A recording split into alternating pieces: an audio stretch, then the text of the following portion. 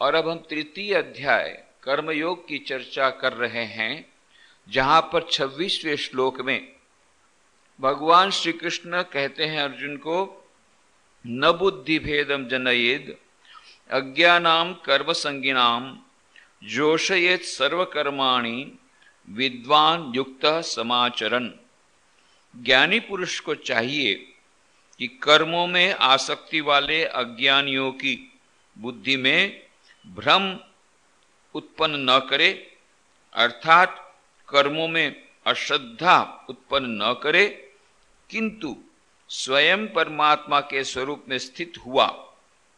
सब कर्मों को अच्छी प्रकार करता हुआ उनसे भी ऐसा ही करावे। अपने जीवन के माध्यम से उसे यह सिखाए कि यह जो कर्म है, यह कर्म हमें कर्म योग के रूप में ईश्वर से मिलने का माध्यम बन सकता है। क्योंकि बिना कर्म के कोई न, एक क्षण भी नहीं रह सकता। और इसीलिए श्री कृष्ण भगवान ने अर्जुन से कहा कि क्योंकि ये नहीं रह सकता, तब कर्म करना ही पड़ेगा। तो उसे ईश्वर समर्पित बुद्धि से करके हम इन बंधन का नाश करें। जिन लोगों को ज्ञान की प्राप्ति नहीं हुई है, वे ज्ञान की प्राप्ति के लिए कर्मयोग का आचरण करें। जिन्हें ज्ञान की प्राप्ति हो गई, उस परम तत्व की प्राप्ति हो गई, मोक्ष की प्राप्ति हो गई, परम परमार्थ की प्राप्ति हो गई। वे भी लोक संग्रह के लिए कार्य करें। और जो महापुरुष है, उनका यह कर्तव्य हो जाता है कि जिन लोगों को अभी ज्ञान की प्राप्ति नहीं हुई, उनकी बुद्धि को भ्रम में न डाले। क्योंकि अभी उनकी ऐसी अवस्था नहीं है कि जहाँ पर वे कर्मों को छोड़ करके दिन रात ईश्वर में लीन रह सकें। ऐसे लोगों को वह गलत फहमी न कर दें, उनके मन में गलत फहमी पैदा न करे, उनका अनुचित मार्गदर्शन न करें, उनको कर्म से विरत न करें, क्योंकि जिस स्थिति पर वे पहुँच चुके हैं, उस स्थिति पर जो लोग नहीं पहुँचे हैं वे भी यदि कर्म करना छोड़ देंगे तो फिर उनको बहुत दुख सहन करना होगा। वे विच्युत हो जाएँगे अपने मार्ग से। न तो अतो नष्ट, ततो भ्रष्ट। न तो इस संसार का ही सुख उन्हें मिलेगा, न परमार्थ का ही मिलेगा, क्योंकि अभी उनका मन उस कर्म को त्यागने के लिए अभी तैयार नहीं हुआ है। और इसलिए धीरे धीरे धीरे उस ओर हमें आगे बढ़ना होगा। और जिस प्रकार से श्री रामकृष्ण उदाहरण देते हैं कि जब सास बहू को बोलती है, बहुत काम कर, बहुत कार्य कर, उससे कार्य करवाती है, दिन रात कार्य करवाती है, पर जब उस, जब गर्भवती होती है बहू तो सास उसका काम कम कर देती है। और जब कुछ महीने बहे, बाकी रह गए तब तो एकदम काम कर दिया कम। क्यों? यदि वह काम करेगी और तो फिर ऐसी संभावना है कि जो सं, जो गर्भस्थ जो शिशु है उस उसको हानि हो। और इसलिए उससे बहुत कम काम करवाती है उसे विश्राम करने की सलाह देती है। जो सास बार बार बोलती थी काम करने को वही बार बार अब सलाह देती नहीं नहीं विश्राम करो। और जब संतान उत्पन्न हो गई बस। बच्चे को लेकर के, शिशु को लेकर के बहु पुत्र वधु रहती है, उसे अब कुछ काम नहीं करना पड़ा, उसी प्रकार से ज्ञान रूपी जब शिशु का जन्म होता है हमारे मन में, हमारे हृदय में, उसके बाद फिर कर्म नहीं रह जाता, पर उसके बाद भी कुछ ज्ञानी लोग लोक संग्रह की भावना से कर्म करते हैं। तो यहाँ पर श्री कृष्ण भगवान कहते हैं, यद्यपि जो ज्ञानी है उसे अब कर्तव्य करने कुछ करने को नहीं है। उसे परमार्थ की प्राप्ति हो गई है। फिर भी उसका कर्तव्य है कि जो अज्ञानी जन है, अभी तक नहीं पहुँचे उस स्थिति को, उनको कर्म में प्रवृत्त कराएँ। और यदि कोई ऐसा कहे, मैं तो दिन रात समाधि में रहूँगा, पर तुम कार्य करो तो उस पर वे इतना ध्यान नहीं देंगे। वे भी चाहेंगे कि आप जिस प्रकार से लीन रहेंगे, हम भी उसी प्रकार से लीन रहेंगे समाधि में। तो इस प्रकार से अपने जीवन के उदाहरण के द्वारा ये महापुरुषों को चाहिए। श्री कृष्ण भगवान कहते हैं कि उनको कर्म में लगाए, कर्म से विरत न करें, क्योंकि उस कर्म के माध्यम से धीरे धीरे धीरे वे कर्म का त्याग अच्छी तरह कर सकेंगे और कर्म योग का आचरण करते हुए उस परमात्म तत्व को प्राप्त कर सकेंगे। और पिछली चर्चाओं में हम लोगों ने कहा, किस प्रकार से भगवान श्री कृष्ण स्वयं उसका उत्कृष्ट उदाहरण है? पहले जनक राजा का उदाहरण दिया, फिर श्री कृष्ण भगवान ने स्वयं का उदाहरण दिया। राजा राम, ये भी मानो, ये जो राम थे, जो कृष्ण थे, इस युग में राय राम कृष्ण ये अवतार स्वयं आते हैं ईश्वर तो वे मानो एक उदाहरण के द्वारा, अपने उदाहरण को द्वारा प्रस्तुत करते हैं उस कर्मयोग की भूमिका को कि इनको अब कुछ बाकी नहीं रह गया कर्म, फिर भी वे इतने अविरत कार्य करते हैं। जिस प्रकार से एक अज्ञानी जितनी तत्परता से काम करता है, उतनी ही तत्परता से वह ज्ञानी भी कार्य करता है। अंतर केवल इतना है कि वह आसक्ति हो, आसक्त होकर के कार्य करता है, जो अज्ञानी है। और जो ज्ञानी है वह अनासक्त होकर के कार्य करता है। उसकी फल के प्रति स्प्रीहा नहीं है। न तो कर्माशक्ति है, न फलाशक्ति है। फिर भी तत्परता उस कर्मयोगी के जीवन में उतनी ही दिखती है जितनी एक अज्ञानी के भीतर में, जीवन में। यह देखने की बात है। बाहर से देखने को तो ऐसा लगेगा कि घोर कर्म में प्रवृत्त हैं। श्री कृष्ण का जीवन घोर कर्म में प्रवृत्त, परंतु भीतर से पूर्णता अनासक्त। अपनी नज़र के सामने सारी यादवों की सेना का विनाश हो गया।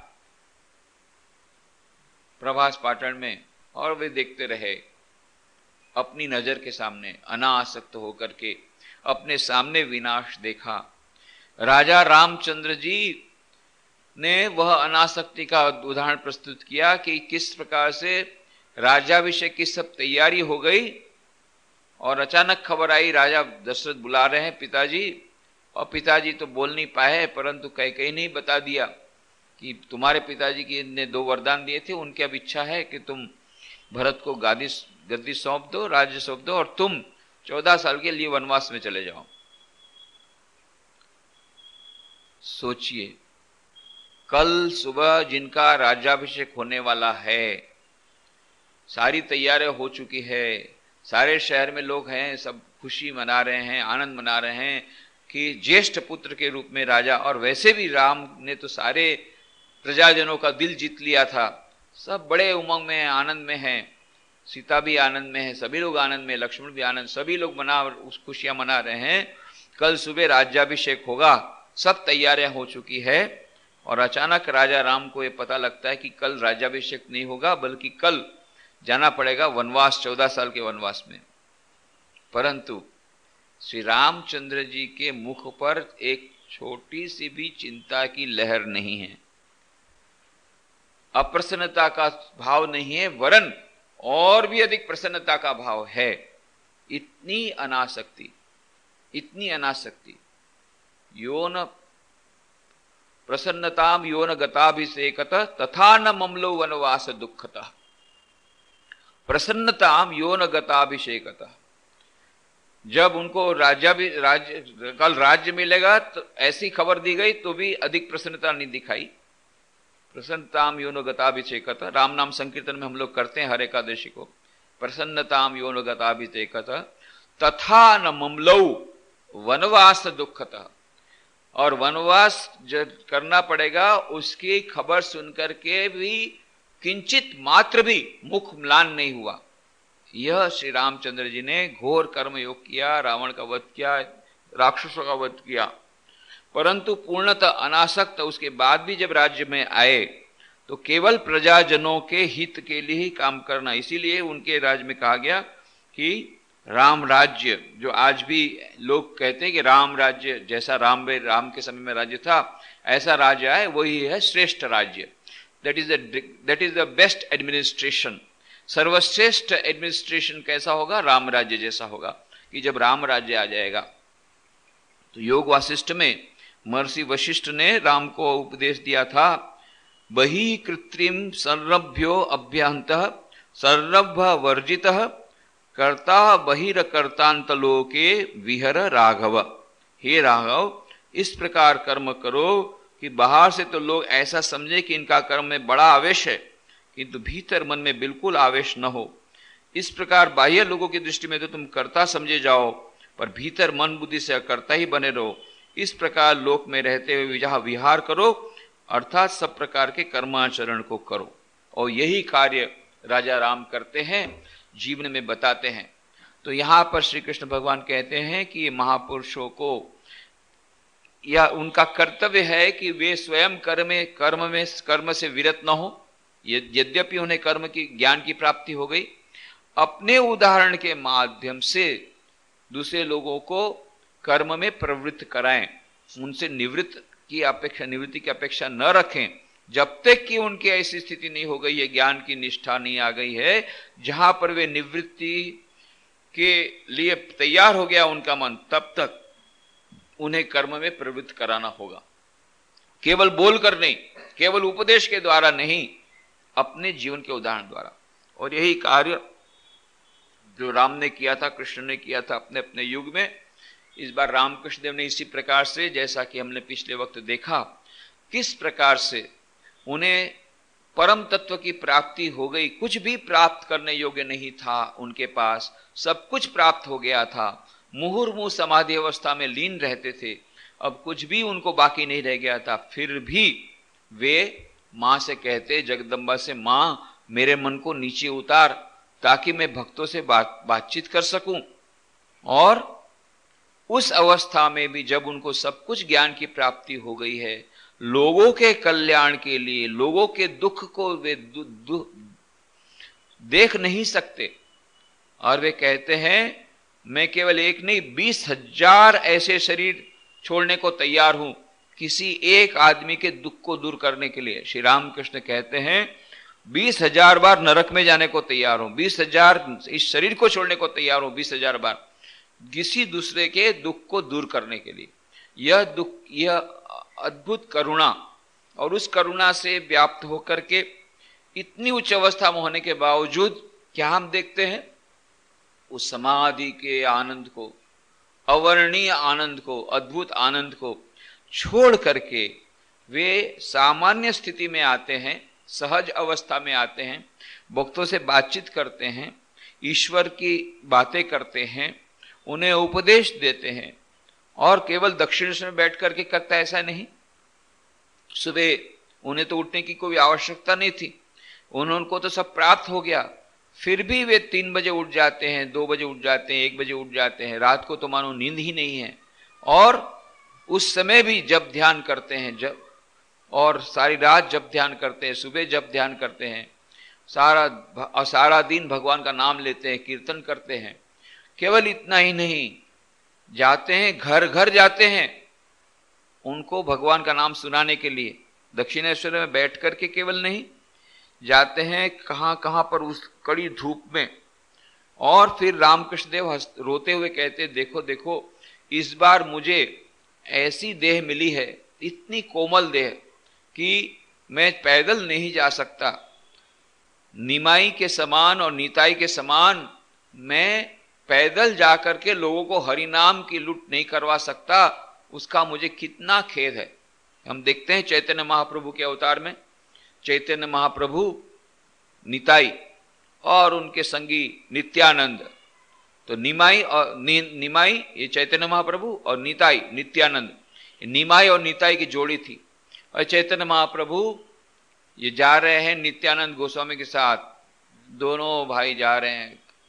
घर घर जा रहे हैं। अरे भाई, भगवान का नाम लो, भगवान का नाम लो। एक बार तो भगवान का नाम लो, बेड़ा पार हो जाएगा। भगवान का नाम लो, बस सब पाप खत्म हो जाएँगे। ज़बरदस्ती भगवान का नाम लेते हैं। और कुछ लोग आकर के उनकी मज़ाक उड़ाते हैं। कितनी निंदा करते हैं। अड़े बड़े बड़े आए, अपने भगवान का नाम सुनाने के लिए कीर्तन कर रहे हैं। दिन रात भगवान का कीर्तन कर रहे हरे राम, हरे कृष्ण कृष्ण कृष्ण, हरे हरे।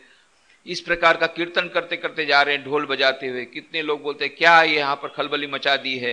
क्या ये ढोंग बचाया हुआ है? क्या ये ढोंग मचाया हुआ क्या ये आवाज़ कर रहे हो? किस प्रकार से हम लोग को हमारी सब कार्यों में तुम विघ्न डाल रहे हो? कोई डांटता है, कोई फटकारता है, कोई निंदा करते हैं, कोई मज़ाक उड़ाते हैं। कोई असर नहीं। घर घर जा रहे हैं, पैदल जा रहे हैं। चलो चलो कीर्तन करो कीर्तन करो। भगवान का नाम लो, भगवान का नाम लो। और कोई यदि मारने आए, जगाई मधाई, ये बहुत दुष्ट लोग थे। और ये दुष्ट लोग ने तो सोच लिया कि अब इसकी धुलाई की जाए, तभी ये खत्म हो गया। बहुत ज़ोर ज़ोर से मारा। डंडे मार करके पीट रहे हैं उसको। और चैतन्य महाप्रभु, नीता निमाई और निताई, दोनों हाथ जोड़कर कह रहे हैं, जितना मारना हो मारो जितना मारना मारो, एक बार भगवान का नाम ले लो, बस मुझे और कुछ नहीं चाहिए। दूसरों के कल्याण के लिए इतना उनके मन में उनकी भावना है, जितना मारना मारो। एक बार भगवान का नाम लो, तुम्हारे मुँह से भगवान का नाम निकलेगा, बस तुम्हारा बेड़ा पार हो जाएगा। इतना। आँखों से नयन में से आँसू बह रहे हैं कि एक बार भगवान का नाम लो। भगवान के नाम में मस्त होकर के कीर्तन कर रहे हैं, एक बार भगवान का नाम लो। यह श्री रामकृष्ण कहते थे, देखो, निताई और निमाई, ये तो रास्ते में पैदल जाते थे। भगवान का नाम वितरण करने के लिए माँ ने मेरे शरीर की ऐसी अवस्था कर दी है कि मैं पैदल नहीं जा सकता, मुझे घोड़ा गाड़ी में जा जाना पड़ता है। और सचमुच में श्री राम कृष्ण अहरनिश भगवान का नाम और चिंतन करते थे। वो चिंतन करते करते करते उनका देह इतना कोमल हो गया था, मक्खन से भी अधिक कोमल, जिन्होंने उनके शरीर को स्पर्श किया, वे कहते थे, मक्खन से भी अधिक कोमल उनका शरीर था। और यहाँ तक कि एक बार एक लुची लुची कहते हैं बंगाल में पूरी को। पर हमारे जैसे पूरी बनाते हैं गुजरात में, गेहूँ के आटे की, वहाँ पर ऐसी नहीं बनती, उसमें मैदा डालते हैं। मैदा डाल करके गेहूँ की, जो आटे की पूरी जो बनाते हैं, बहुत नरम होती है। ये जो लुची, ये लुची का छोटा टुकड़ा काटते समय श्री राम कृष्ण देव लूची काट, लुची तोड़ रहे थे। लूची तोड़ते समय उनकी उंगली में से खून बहने लगा। इतनी कोमल उनकी उंगली थी, इतना कोमल उनका शरीर था। अकल्पनीय। तो श्री रामकृष्ण कहते हैं, इस बार माँ ने ऐसा कोमल शरीर दिया कि मैं इस प्रकार से निताई निमाई के समान घर गए। पर फिर भी जाते थे। फिर भी घोड़ा गाड़ी के लिए लोग, घोड़ा गाड़ी करते थे, भक्त लोगों को कहते थे, भाई थोड़ा घोड़ा गाड़ी का प्रबंध कर दे। और वो भक्त लोग में सब ये उनके थे, बलराम बोस। तो बलराम बोस भी थोड़े कंजूस थे। तो वे ऐसी घोड़ा गाड़ी ढूंढ के लाते थे जो सस्ती से सस्ती हो। और सस्ती से सस्ती घोड़ा गाड़ी को ला करके दिया। राम अरे बोले, ये घोड़ा गाड़ी जाएगी? इतनी पुरानी पुरानी घोड़ा गाड़ी टूटी हुई, फूटी हुई, और घोड़ा भी बेचारा दुबला पतला, बोले, ये कैसे होगा? नहीं नहीं नहीं, बराबर होगा, बराबर, आप चिंता मत कीजिए। और फिर रामकृष्ण बाद में मज़ाक करके बोलते थे, देखो, मैंने उसको बोला था बलराम को कि घोड़ा गाड़ी कर देना। पहले से मैंने कहा था, उसका सूरत देख करके मैं समझ गया, घोड़े की सूरत देखकर घोड़ा गाड़ी को देख करके नहीं। नहीं नहीं नहीं, कोई चिंता की बात नहीं, मैंने सब तय कर लिया है। और जो आधी कीमत में घोड़ा गाड़ी मिली है तो उसने वही घोड़ा गाड़ी की। और रामकृष्ण बाद में मज़ा कर बोले, सचमुच में वही हुआ। आधे रास्ते जा करके देखा घोड़ा गाड़ी के दो टुकड़े हो गए। आगे का भाग जा रहा है, पीछे का भाग पीछे रह गया। और उसके बाद में घोड़ा आगे नहीं बढ़ पा रहा। कितना चाबुक मार मार करके उसको घोड़ा, घोड़े को पहुँचाया अपनी जगह पर। खाना नहीं दे रहा, केवल चाबुक ही मार रहा है, खाना नहीं दे रहा, केवल चाबुक ही मार रहा है। घोड़ा का घोड़ा गाड़ी का मालिक। तो श्री रामकृष्ण देव घोड़ा गाड़ी में जाते थे और कितने घरों में जाते हैं। हरि नाम का लूट हरि नाम की लूट करते हैं, भगवान का नाम देते हैं। भगवान के नाम सुनाते के लिए, ईश्वर के समर्पित, ईश्वर में समर्पित होने के लिए, आह्वान करने के लिए, ये श्री रामकृष्ण घोर कर्म में आवृत हैं। और इसीलिए स्वामी विवेकानंद ने श्री रामकृष्ण पर जो स्तोत्र लिखा, श्री रामकृष्ण आरत्रिकम प्रतिदिन संध्या को जो आर्थिकम स्तव गाया जाता है, खंडन भव बंधन जग वंदन वंदी तुम्हारे उसमें कहते हैं भंजन, दुख गंजन, कर्म कठोर। दुख भंजन करने के लिए हे श्री रामकृष्ण तुम आए लोगों के दुख दूर करने के लिए और कर्म कठोर कठोर कर्म किया। प्राणाण पर जगत तारण, कृंतन कलिडोर पूरा अपना प्राण को अर्पण कर दिया। इसीलिए कहा पिछले वक्त हमने कि उनकी जब अंतिम अवस्था में जब कैंसर हो गया, कैंसर के समय डॉक्टर लोगों ने मना कर दिया, आप किसी से बात मत कीजिए। फिर भी उस अवस्था में बात करते रहे, घंटों तक बात करते रहे, इतनी पीड़ा होती थी, इतनी व्यथा होती थी कि वे कुछ भी खा नहीं पाते थे, पानी भी नहीं लग, निकल सकते थे। सूजी की जो खीर थोड़ी सी दी जाती थी, वो थोड़ी सी भी उतरती नहीं थी, उसमें भी खून आ जाता था। इतनी तकलीफ़ होती थी कुछ खा नहीं सकते थे। बोलने में बड़ा कष्ट होता था। फिर भी घंटों बोलते थे उपदेश देते थे। अंतिम उन्होंने कहा कि ये तो आए हम आए हैं इस, इस इसी के लिए। देह को उत्सर्ग करने के लिए ही तो आगमन इस बार हुआ है। अंतिम दिन 16 अगस्त अठारह सौ छियासी को जिस दिन महासमाधि उस दिन भी कोई बहुत दूर से भक्त आया। तो सभी लोगों ने कहा, नहीं, उनको बहुत व्यथा है, बिल्कुल किसी को मिलने नहीं दिया जाएगा, डॉक्टर लोगों ने मनाही की है। फिर भी श्री रामकृष्ण ने कहा, नहीं नहीं, आने दो आने दो। इसका तो जन्म हुआ है हमारा, इसी के लिए। इस प्रकार से अंतिम दिन तक उन्होंने अंतिम क्षण तक कार्य किया और अंतिम बुंद को भी जगत के कल्याण के दे दिया। इसीलिए कहा, प्राणार्पण जगत तारण जगत तारण कृंतन कलिडोर। ये स्वामी जी ने कहा रामकृष्ण के बाद। अपने जीवन में उदाहरण के द्वारा श्री रामकृष्ण देव ने बताया, उनको सब कुछ प्राप्त हो गया था, कुछ प्राप्त होने को बाकी नहीं था। अद्भुत, व परम आनंद में हमेशा लीन रहते थे। पर जगत के कल्याण के लिए, दूसरों के कल्याण के लिए, ये कार्य में अविरत कार्य करते हैं। सुबह इतने तीन बजे उठ जाते हैं, दो बजे उठ जाते हैं, जब ध्यान करते हैं, उसके बाद में लोग सारा दिन भक्तों से वार्तालाप करते हैं, संध्या आरती के बाद फिर से भगवान के नाम में लीन हो जाते हैं, देर तक बात करते हैं, देर तक ध्यान करते हैं देर तक पूजा करते हैं, और एक उदाहरण प्रस्तुत करते हैं, घोर कर्म में प्रवृत्त रहते हुए भी अनासक्ति पूर्वक कैसे रहा जाए, अपने जीवन के माध्यम से वे प्रस्तुत करते हैं। और इसी प्रकार से फिर उन्होंने तैयार किया स्वामी विवेकानंद को, हमने पिछली चर्चा में कहा देखा किस प्रकार से स्वामी विवेकानंद भी नरेंद्र नाथ दत्त, वो भी चाहते हैं कि मैं हमेशा समाधि में लीन रहूँ। और श्री रामकृष्ण देव ने कहा था अच्छी अच्छी मैं चाहता था। तो ये तो एक बड़ा वृक्ष के समान होगा, जिसकी छाया तेरे लाखों लोग शांति प्राप्त करेंगे। तो केवल अपने ही मुक्ति की बात करता है, केवल अपने ही आनंद की बात करता है। अरे, ये भी एक स्वार्थ की बुद्धि है। तू ही वह गीत गाता है ना, तुझसे हमने दिल को लगाया, जो कुछ है सो तू ही है। एक तुझको अपना पाया जो कुछ है सो तू ही है। सब जगह तो वही एक ईश्वर विराजमान है। उसकी सेवा करो। तू जो समाधि की अवस्था की बात कर रहा है, निर्विकल्प समाधि, उससे भी अधिक उच्च अवस्था है। कौन सी उच्च अवस्था? की जहाँ पर प्रत्येक जगह कण कण में भगवान दिखते हैं। सर्वम खलु इदम ब्रह्म। विश्व के प्रत्येक कण कण में ईश्वर की झलक दिखती है, ईश्वर की अनुभूति होती है। यह विज्ञान की स्थिति श्री रामकृष्ण देव ने एक विशेष शब्द उसके लिए व्यवहार किया, विज्ञान। वह विज्ञान नहीं जिसे हम साइंस कहते हैं। यह जो विज्ञान कहते हैं, ज्ञान के परे जो है, वह है विज्ञान। विशेष रूप से ज्ञान। तो इसकी किस प्रकार से वे तुलना करते हैं? जैसे किसी ने केवल दूध को, दूध के बारे में सुना मात्र है, पर देखा नहीं है, वो है अज्ञानी। किसी किसी ने दूध को देखा है, अपनी नज़र से देखा है, वो है ज्ञानी। और किसी किसी ने केवल देखा नहीं, दूध को चखा है, यह है विज्ञानी। विशेष रूप से ज्ञान उसे हुआ है, उसका केवल ईश्वर का, केवल अनुभव, केवल ईश्वर का दर्शन नहीं किया, उसकी अनुभूति जीवन में कर दी है, यह है विज्ञानी।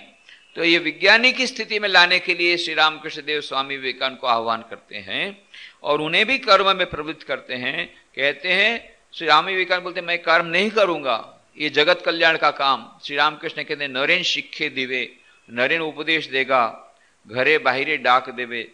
ये बाहर और घर के बाहर और अंदर, दोनों जगह पर वो अपना उपदेश सुनाएगा। मतलब देश में और देश के बाहर। और स्टीमर का भी चित्र उन्होंने चित्रित किया था। वे तो बहुत बड़े आर्टिस्ट थे, श्री रामकृष्ण देव।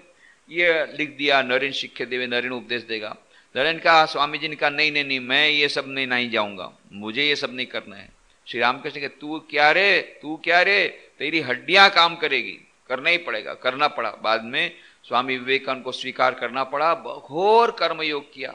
शिव ज्ञान से जीव सेवा का जो आदर्श श्री राम रामकृष्ण देव ने दिया था, उस आदर्श से अनुप्लावित होकर के बाद में सारे विश्व में दो बार प्रदक्षिणा की सभी जगह। कितना कठोर परिश्रम करके वेदांत का वह सार संदेश दिया। और उसके बाद में रामकृष्ण मिशन की स्थापना की, संस्था की स्थापना की, और वहाँ आत्मनो मोक्षार्थम जगत हिताय च, यह आदर्श रखा, और अपने शिष्यों को भी रामकृष्ण मिशन के जितने अनुयायी हैं चाहे गृहस्थ, चाहे भक्त, उनके सामने भी आदर्श प्रस्तुत किया। कौन सा? कर्म को छोड़ना नहीं है, सेवा को छोड़ना नहीं है। वो सेवा करते रहना है, सेवा करते करते करते करते ही चित्त शुद्धि होगी। 24 घंटा जब ध्यान करने के लिए बहुत कम लोग का मन इस प्रकार का है कि वह 24 घंटा तीन सौ पैंसठ दिन सारी ज़िंदगी, कुछ ऐसे आते हैं अवसर?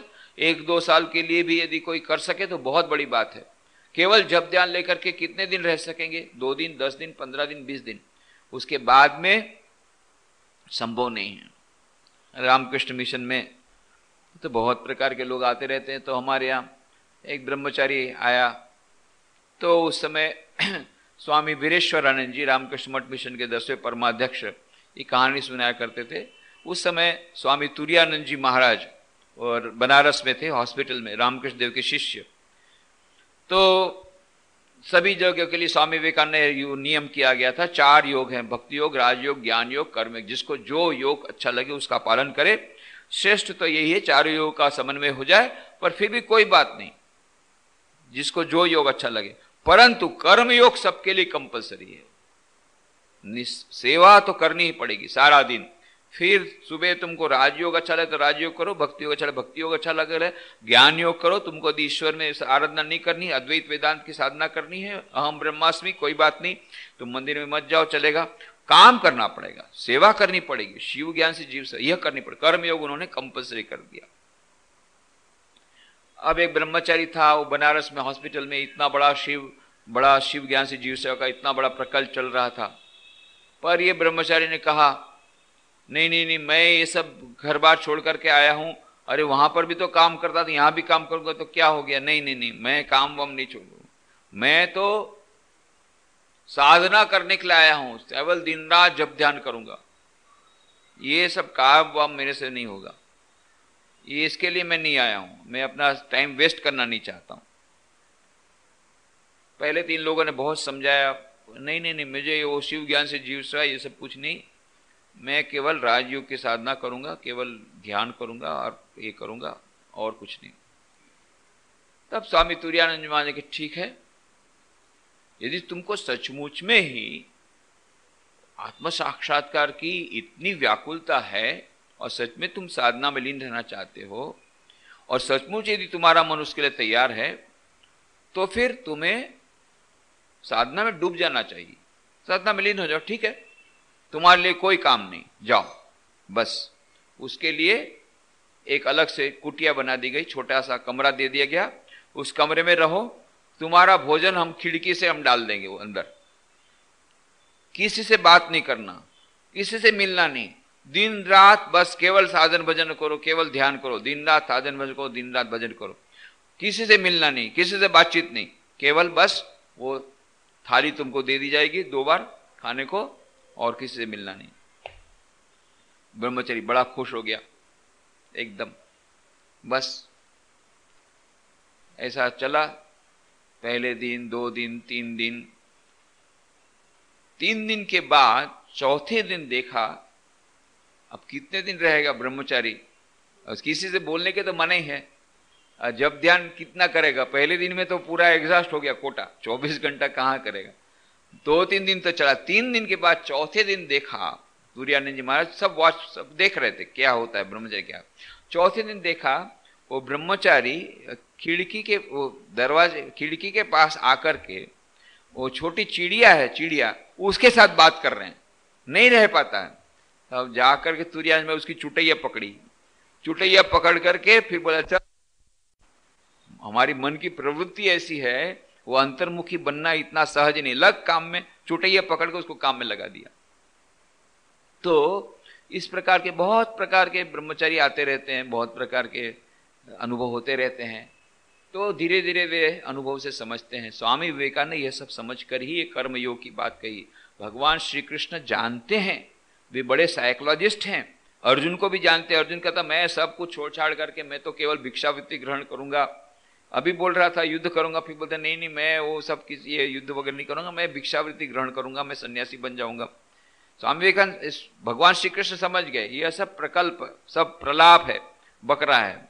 थोड़ा थोड़ा उसको धीरे धीरे करके डोज दिया, पहले तो शॉक ट्रीटमेंट दिया, अभी कर्म योग में अब समझा रहे हैं, बिना कर्म के कोई नहीं रह सकता। और इस प्रकार से समझा रहे हैं कर्मयोग की महत्ता को समझा रहे हैं। अधिकांश लोगों के लिए कर्मयोग बड़ा आवश्यक है। कुछ लोग ऐसे हैं जिनका मन तैयार हो चुका है। हज़ारों हज़ारों जन्मों के कर्मों के फलस्वरूप अभी उनका मन इतना उनकी चित्त शुद्धि हो गई। अब उन्हें कोई कर्म की आवश्यकता नहीं। उनका मन सहज अवस्था में ही ईश्वर में लीन रहता है। वे सचमुच वे राजयोग या ज्ञान योग की साधना के एकदम परिपक्व रूप हैं। उनको कर्म के लिए कोई आवश्यकता नहीं। ये बात सच है, पर ऐसे बहुत बिरले होते हैं। पर श्री कृष्ण भगवान कहते हैं, ऐसे लोगों को भी, जिनको इस प्रकार से ज्ञान की प्राप्ति हो गई है, उनको भी कर्म में प्रवृत्त होना चाहिए। क्यों? उनको देख करके लोग सीखेंगे। नहीं तो वो भी, ये तो निवृत्त हो रहे हैं इसलिए कि उनको प्रवृत्ति की कोई आवश्यकता नहीं। पर दूसरे लोग निवृत्त हो जाएँगे, उनको आवश्यकता होने के बावजूद, अरे महान लोग जब इस प्रकार से निठल्ले बैठे हैं तो हम क्यों काम करें? वो ये नहीं समझ पा रहे हैं कि निठल्ले नहीं बैठे हैं। वो बैठे बैठे ध्यान कर रहे हैं, प्रार्थना कर रहे हैं, जगत के कल्याण में रत हैं। हिमालय की गुफा में बैठ करके भी कोई सारे जगत के कल्याण में रत रह सकता है और सारा दिन कार्य करके भी कोई जगत का हित कर सकता है। ये स्वामी विवेकानंद का। परंतु यह जो अज्ञानी जन है, वे ये समझ नहीं पाते। और इसीलिए श्री कृष्ण भगवान कहते हैं कि इन लोगों को भी अपने उदाहरण के द्वारा कार्य में लगना चाहिए पहले ज्ञान की प्राप्ति जब तक नहीं हुई, तब तक ज्ञान की प्राप्ति के लिए कर्म करें। कर्म योग का आचरण करके चित्त शुद्धि करके कर्म योग का आचरण करते रहें और ज्ञान की प्राप्ति करें। ज्ञान की प्राप्ति के बाद भी लोक संग्रह के लिए, लोगों के समक्ष उदाहरण प्रस्तुत करने के लिए वे कार्य में रत रहे। तो स्वामी विवेकानंद ने फिर वही किया। श्री रामकृष्ण देव ने जो कहा था, उसी प्रकार से स्वामी विवेकानंद ने अपने जीवन में करके बताया। कितने कर्मशील कर्म में रत रहे, फिर भी अलिप्त रहे। फिर भी अलिप्त। रामकृष्ण से स्थापना की, पर सबसे पहले वे प्रेसिडेंट नहीं बने। पहले प्रेसिडेंट बनाया स्वामी ब्रह्मानंद जी को फिफ्थ प्रेसिडेंट नहीं बने। कोई स्प्रिहा नहीं। संस्था बनाई अपने नाम से नहीं, रामकृष्ण अपने गुरु के नाम से। प्रेसिडेंट खुद नहीं बने। जितना पैसा, जो कुछ भी उन्होंने इकट्ठा किया था, बहुत कड़ी मेहनत करके इस जगत के कल्याण के लिए, जो कुछ सेवा प्रवृत्तियों के लिए सब सारा पैसा स्वामी ब्रह्मानंद जी महाराज को दे दिया। जैसे अमेरिका से वापस लौटे, भाई, बस, अब मैं निश्चिंत हो गया, अब मैं, मेरा भार हल्का हो गया, सब कुछ तुमको दे दिया। श्री रामकृष्ण देव ने स्वामी विवेकानंद को अपनी सारी शक्तियाँ दे दी और कहा, तुझे सब कुछ देकर के मैं फकीर बन गया। जिसकी बात हमने पिछले सप्ताह में की थी, चर्चा। और यहाँ पर क्या करते हैं, स्वामी विवेकानंद भी उसी प्रकार से सब भार दे देते अपने शिष्यों में, अपने गुरु भाइयों को, और इस प्रकार से अलिप्त हो जाते हैं। और जब तक जीवित रहते हैं, चौथी जुलाई 1902 को उन्होंने समाधि ली, महासमाधि ली, उस दिन तक वे अविरत कार्य करते रहे। उस दिन सुबह तीन घंटा तो उन्होंने ध्यान किया। छोटे मंदिर में बेलू मठ का जो पुराना मंदिर है, जो पुराना मंदिर मठ ऑफ़िस जो है जो अभी अभी का जो नया मंदिर है, बड़ा नया मंदिर, उसके पीछे मठ ऑफ़िस है। उस मठ ऑफ़िस के पीछे, मठ ऑफ़िस के ऊपर, दुमजले पर एक छोटा सा मंदिर है, पुराना मंदिर, जहाँ पर स्वामी विवेकानंद, सभी लोगों ने ध्यान किया था। उन्नीस में जब यह नया मंदिर बना, उसकी प्रतिष्ठा हुई, उसके पहले उसी मंदिर में सब लोग ध्यान करते थे, वही मुख्य मंदिर था। वहाँ स्वामी विवेकानंद ने दरवाज़ा बंद करके तीन घंटा ध्यान किया। क्या बातचीत उन्होंने की रामकृष्ण देव से हमें नहीं पता। फिर उसके बाद नीचे उतर आए। उसके बाद में दोपहर को वहाँ पर उन्होंने क्लास ली, संस्कृत ग्रामर की क्लास ली, संस्कृत उप शास्त्रों की क्लास, शास्त्रों का पठन पाठन किया। शाम को स्वामी प्रेमानंद जी महाराज के साथ बेलूर बाज़ार तक पैदल गए और उस समय उन्होंने वैदिक विद्यालय की स्थापना करने की बात कही प्रेमानंद जी महाराज को। इस प्रकार से किस प्रकार के कार्य करना होगा, उसके निर्देश दिए। फिर आकर के शाम को जब प्रार्थ संध्या आरती का समय हुआ, तब जाकर के अपने कमरे में गए और फिर ध्यान में लीन हो गए और ध्यान के पंखों पर उड़ करके इस लोक को उन्होंने छोड़ दिया। परंतु ये अंतिम दिन भी वे कार्य करते रहे। तो ये मानो स्वामी विवेकानंद ने अपने एग्ज़ाम्पल के द्वारा, उदाहरण के द्वारा प्रस्तुत किया। उसी प्रकार से माँ शारदा देवी ने, माँ शारदा देवी ने भी उसी प्रकार से घोर कर्म किया, पर अनासक्त रह करके कर्म करती है। कितना कर्म किया? सुबह से तीन बजे से उठ करके जब ध्यान करना, प्रार्थ, फिर उसके बाद पूजा पाठ करना, चाहे उद्बोधन भवन में हो तब, चाहे नौबत खाना में रहती हो तब, चाहे जयराम भट्टी में रहती हो तब, सभी समय हम देखते हैं कि अविरत कार्य अविरत कार्य, सुबह से लेकर के उठ करके बर्तन मानना उस समय चूल्हा तो इस प्रकार का नहीं था। अभी तो हम लोग को गैस का चूल्हा है गैस का चूल्हा थोड़ा सा ये दिया एकदम तुरंत चूल्हा शुरू हो गया बर्नर के द्वारा। परंतु उस समय ये लकड़ी के द्वारा चूल्हा बनाना पड़ता लकड़ी के द्वारा चूल्हा बनाया उसके बाद लकड़ी का चूल्हा उसको जलाया उसके बाद में गेहूँ की गेहूँ को आटा आटा आटा बनाया रोटी बनाया रो, कितनी सारी रोटियाँ लगती थी। अलग अलग प्रकार की रोटियाँ अलग अलग भक्तों के लिए। नरेन के लिए मोटी रोटियाँ, दूसरे भक्तों के लिए पतली रोटियाँ, इसके लिए अड़द, उड़द की दाल चाहिए नरेन के लिए। और दूसरों के लिए दूसरा, कितने प्रकार के भोजन तैयार करना अलग अलग प्रकार के भक्तों के लिए, ये सब भोजन करा, भोजन करना, भोजन बनाना, भोजन कराना, श्री रामकृष्ण को भोजन बनाना, श्री रामकृष्ण को की सेवा करना, जब तक वे जीवित थे, तब तक और जब नहीं जीवित थे, तब उनके फ़ोटो की पूजा करना, उसी प्रकार से, जिस प्रकार से उनकी पूजा करते थे, उसी प्रकार से उनकी सेवा करना, वह सुबह मंदिर में, फिर पूजा पाठ, उसके, उस जब ध्यान, और फिर उसके बाद में रसोई बनाना, बसन मानना, कपड़ा धोना साथ साथ में मंत्र दीक्षा प्रदान करना, गुरु के समान। फिर शिष्यों को मंत्र दीक्षा देना, शिष्यों को खुद ही अपने हाथ से खिलाना। और फिर उसके बाद पूरे रामकृष्ण मिशन के इतने बड़े कितने सारे कार्य, कितने सारे भक्त, कितने सारे हैं गृहस्थ भक्त, कितने सारे सन्यासी, सब माँ के पास मार्गदर्शन लेने के लिए आते हैं। तो मार्गदर्शन लेने के उनसे बातचीत करना या उनके पत्र आते हैं तो माँ पैर फैला करके बैठी है, उनको वात की बीमारी थी और उनके ब्रह्मचारी जो सेवक हैं, वो पत्र पढ़ा, सुनाते हैं और माँ उनका उत्तर बताती है किस प्रकार का डिक्टेशन देती है। माँ तो खुद लिख नहीं पाती थी।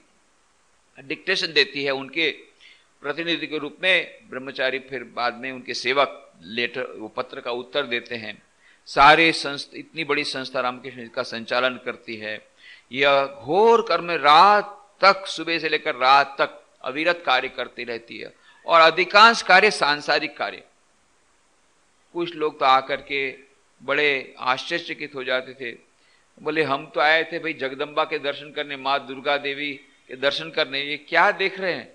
गाँव की महिला के समान एकदम साधारण महिला के समान बर्तन मारने कपड़ा धो रहे हैं ये कर रहे हैं दिखने में भी भी साधारण।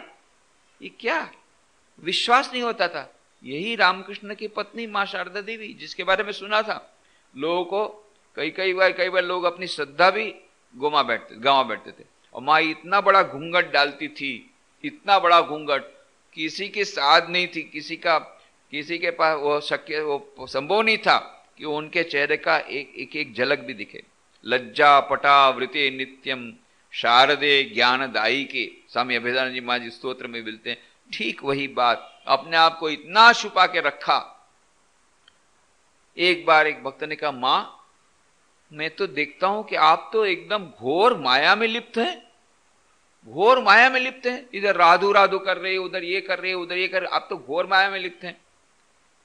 माँ ने बड़ी सहजता से छोटा सा उत्तर दिया, क्या करूँ? मैं खुद जो माया हूँ, भक्त समझ नहीं पाए। महामाया स्वयं महामाया में रह के हुए महामाया का खेल दिखा रही है। माँ ने उतने ही कहा क्या करूँ? मैं खुद जो माया हूँ। पर यह माँ, माया में, महामाया स्वयं एक प्रकार का मानो एक भूमिका अदा करे।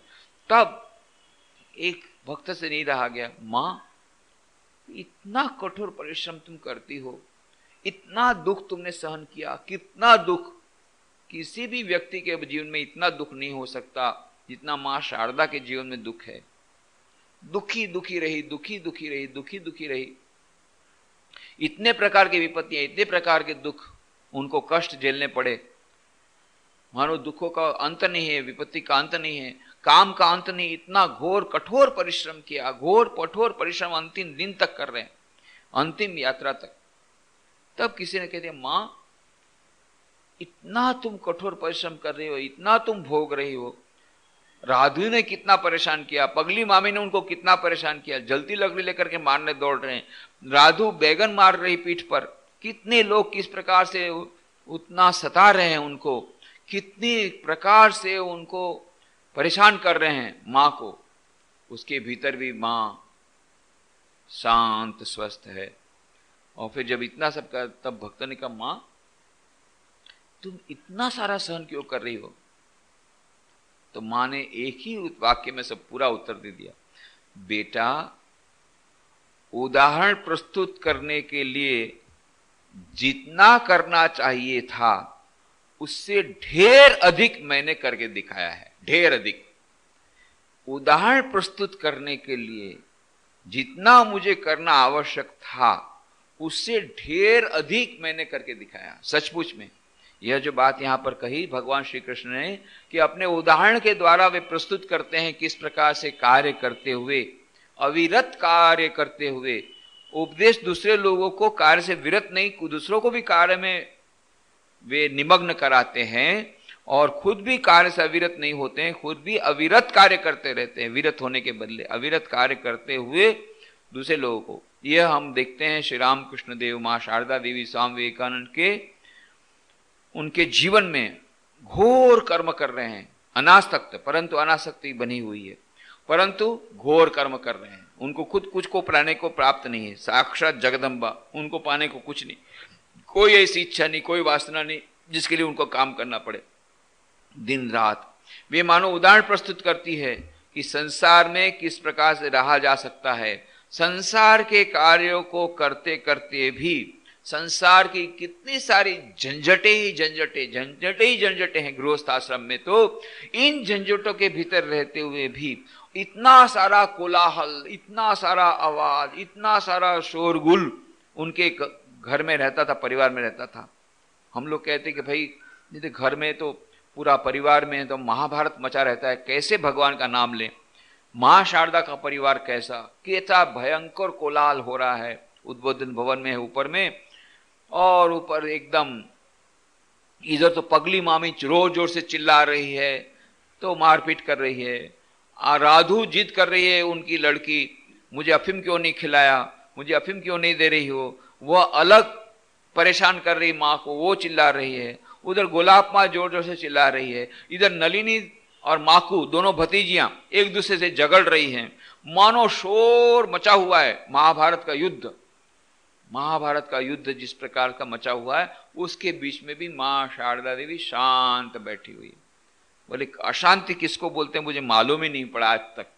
और उसके बाद ऐसे सब कोलाल के बीच में, ऐसे सब इतने सारे सारे संसार की झंझटें और इतना सारा आवाज़, इतना शोरगुल इसके भीतर में माँ शांत बैठी हुई कहती है, मैं एक लाख जप करती थी, एक लाख जप करती थी, इसके बावजूद। और हम लोगों को थोड़ा सा भी कहने को कहा, जब कैसे जप करेंगे? मकान में, परिवार में तो इतनी अशांति है, इतना कोलाहल है, इतना शोरगुल है, उसमें कैसे हम भगवान का नाम ले सकते हैं? तो यह सब हम लोग बहानाबाजी करते हैं। इसीलिए बहानाबाजी हम न कर सके, माँ शारदा ने करके दिखाया। माँ शारदा का जीवन पढ़ लीजिए। करके उन्होंने दिखाया, इतना सारा काम करते हुए भी भगवान का नाम लिया जा सकता है। इतना सारा कार्य करते हुए, अनासक्ति हुए यदि किया जाए तो उस परम तत्व की उपलब्धि हो सकती है। कार्य छोड़ने की आवश्यकता नहीं है। कार्य के प्रति आसक्ति छोड़ने की बात है। कार्य की आसक्ति और कार्य के फल की आसक्ति, यदि दो को छोड़ा दिया, छोड़ दिया जाए, कार्य को छोड़ने की कोई आवश्यकता नहीं है तो वह कर्म योग करते करते भी उस परम सिद्धि की अवस्था को प्राप्त हम कर सकते हैं। यह मानो माँ शारदा देवी, स्वामी विवेकानंद, श्री रामकृष्ण, उनके गुरु भाई, स्वामी विवेकानंद के गुरु भाई, रामकृष्ण के शिष्य, उनके गृहस्थ भक्त, उनके सन्यासी शिष्य, ये सब अपने जीवन के द्वारा डिमॉन्स्ट्रेट करते हैं। मानो एग्ज़ाम्पल उदाहरण प्रस्तुत करते हैं कि इस प्रकार से जीवन में करते हुए भी उस परम तत्व को प्राप्त कर सकते हैं और दूसरे लोगों को वे विरत नहीं करते कर्म से। उनका अनुचित मार्गदर्शन नहीं करते हैं। क्या सब कार्य कब काम काम कर में पड़े हुए हो? हा? काम करके क्या होगा? अरे दुनिया तीन काल में मिथ्या है। यह है काठ वेदांत। ब्रह्म सत्य जगत मिथ्या, सब तो मिथ्या है। पर उन्हीं लोगों को बोला जाए अच्छा जब सब मिथ्या है तो आप खाना वाना छोड़ दीजिए। नहीं, खाना तो सत्य है। खाना सत्य है। उसमें तो हम देखेंगे, रोटी कैसी है? कच्ची होगी रोटी तो ज़ोर से चिल्लाएँगे, क्यों हमको कच्ची रोटी दिया अरे, ब्रह्म सत्य जगह मिथ्या तो भी तो रोटी भी मिथ्या है तो जैसे ही खा लो। और फिर खाने की क्या आवश्यकता? नहीं। रोटी सत्य है, बाकी कार्य ये सब मिथ्या है। जगत के कल्याण के कार्य सब मिथ्या है। ये हम लोगों ने अपने आप को छलने का और सारे जगत को छलने का प्रपंच किया। केवल मुँह से कहा, ब्रह्म सत्य जगत मिथ्या। वह तो किसकी स्थिति है जिसको अपने देह का भान नहीं? फिर वो भिक्षा लेने नहीं जाएगा। भिक्षा उसके पास आएगी। अजगर करे न चाकरी। अजगर कभी चाकरी नहीं करता किसी की। वो पड़ा रहता है, मस्त पड़ा रहता है। तो अजगर के समान वो सन्यासी पड़ा रहता है। और लोग उसके पास आकर के दे जाते हैं। और शरीर को टिकाते हैं, उनको कुछ शरीर को टिकाने की कोई आवश्यकता नहीं है। न उनको उस प्रकार का को कोई प्रयत्न करते हैं। वो तो बहुत उच्च अवस्था है। जिनकी ऐसी उच्च अवस्था नहीं है, वे, और जिनकी ऐसी उच्च अवस्था नहीं है, वे यदि दूसरों को कहें, अरे, क्या है सब काम वाम लगाया? जगत कल्याण का काम, ये सब क्या है? सब चक्कर है सब तो माया है, माया। दुनिया तो तीन काल में मिथ्या है। ये मिथ्या कार्य क्यों कर रहे हो? तो यह मानो ये ये ठीक नहीं होगा, अनुचित होगा। श्री कृष्ण भगवान कहते हैं, अनुचित है। इतना ही नहीं, यदि जिसकी इस प्रकार की अवस्था हो गई है कि जिसको अब उसको कार्य की कोई आवश्यकता नहीं, ज्ञानी हो गया है, परम सिद्धि की प्राप्त कर ली, मुक्ति की भी प्राप्ति होगी, सब कुछ प्राप्त कर लिया है, अब उसको कोई कर्म की आवश्यकता नहीं, कोई साधना की आवश्यकता नहीं। उसको भी चाहिए कि वह फिर भी जगत के कल्याण के लोक संग्रह के लिए कार्य करे, अपने जीवन के उदाहरण के द्वारा दूसरे लोगों को कार्य में निमग्न कराए। यह बात श्री कृष्ण भगवान कहते हैं, बहुत ही महत्वपूर्ण श्लोक है, क्योंकि आज हम देखते हैं कई लोग इस प्रकार से, विशेष करके कई लोगों के मन में ये भ्रामक धारणा है कि हम लोग जो कुछ भी कार्य, गृहस्थ लोगों को ये धारणा है कि हम तो गृहस्थ हैं, अरे हम लोग तो कार्य में, कार्य कर, सारा दिन हमको तो संसार का कार्य करना रहता है, इसलिए हम तो कभी भी मुक्ति के प्राप्ति के अधिकारी नहीं हो सकते हैं, न हमें वो परमार्थ की प्राप्ति हो सकती है। यह गलत फहमी है, गलत धारणा उनके मन में घर कर जाती है। और कुछ लोग इस प्रकार से समझते हैं कि अरे, यो समाज सेवी संस्थाएँ रामकृष्ण मिश्र जैसी, इन्होंने मानो अपने जीवन का उद्देश्य खो बैठे हैं ये लोग, सन्यासी लोग। अरे, कहाँ तो उनको जब ध्यान, सारे दिन रात जब ध्यान करना चाहिए, कीर्तन करना चाहिए, रामकृष्ण देव के समान। और कहाँ तो रामकृष्ण देव के अनुयायी होते रहने के बावजूद भी ये दिन रात, सारा सारा दिन काम करते हैं, केवल दिन में दो बार ही जब ध्यान करते हैं। यह मानो गलत फहमी उनके मन में होती है और उस गलत फहमी से दूसरों को भी गलत फहमी में डालते हैं और कभी कभी तो जो नए ब्रह्मचारी आते हैं, वे भी गलत फहमी में पड़ जाते हैं। और वे भी इस प्रकार से उनका, वे उन, भटक जाते हैं। आए थे, यहाँ पर शिव ज्ञान से जीव सेवा के। और फिर इस प्रकार से दूसरे लोग भटका देते रहे, क्या रे, इसके लिए तुम लोग आए हो क्या? अरे, सब्ज़ी काटना था एक ब्रह्मचारी की माँ के बोली, अरे सब्ज़ी काटना था तो मेरे पास ढेर सारी सब्ज़ी घर में। यहाँ आकर सब्ज़ी काट रहा है, चल घर में। कान पकड़ कर ले गए अरे वो सब्ज़ी काटना और ये सब्ज़ी काटना, ये अलग है, ये ईश्वर के लिए सब्ज़ी काटना है और ईश्वर के भक्तों के लिए काटना है, वहाँ पर अपने स्वार्थ के लिए है। और दूसरा, ये वातावरण, जहाँ पर कि यह महायज्ञ चल रहा है। तो ये कार्य और बाहर का जो कार्य वो एक नहीं है। वहाँ पर, यहाँ पर जितना हो परमार्थ के लिए कार्य हो रहा है।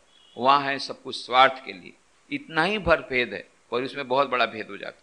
तो इसलिए यह जो कुछ लोग भ्राम भ्रम में डाल देते हैं, इसीलिए श्री कृष्ण कहते हैं, भगवान श्री कृष्ण कि ज्ञानी पुरुष को चाहिए कि कर्मों में आसक्ति वाले अज्ञानों की बुद्धि में भ्रम न उत्पन्न करें, अर्थात कर्मों में अश्रद्धा उत्पन्न न करें। किंतु स्वयं परमात्मा के स्वरूप में स्थित हुआ सब कर्मों को अच्छी प्रकार करता हुआ उनको भी वैसे ही कराए। न बुद्धि भेदम जनयेद अज्ञानाम कर्म संगी नाम जोशे सर्वकर्माणी विद्वान युक्त समाचरण। इस प्रकार का यह महत्वपूर्ण श्लोक की हमने चर्चा की। इसके बाद की चर्चा हम लोग अगले रविवार को करेंगे। आज यहीं पर समाप्त करें।